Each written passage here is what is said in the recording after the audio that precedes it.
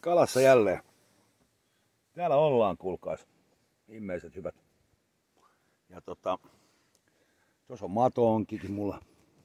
Joo, äsken otin, just tuli äsken. Ja sieltä, joo, sieltä tuli hyvä kokonen. No ei nyt ikään hirmu iso, mutta syötävä hauki. Haukee taas pannaan tänään grilliin ja tota mä en heittänyt pois. Ja mitkä onks huippuis, älykkään, älyttömän isot hauat, niin nehän ei maistu millekään. Näissä pienemmissä on vähän maku enemmän. Sitten kun ne vielä maustaa ja muuten. Komea kelitys, satokin jossain vaiheessa.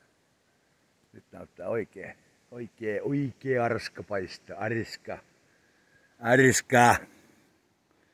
Näin, ei mitään. Mä rupeen heittelee. Mulla, mutta tällä, tällä lipalla sain tota, se on haue.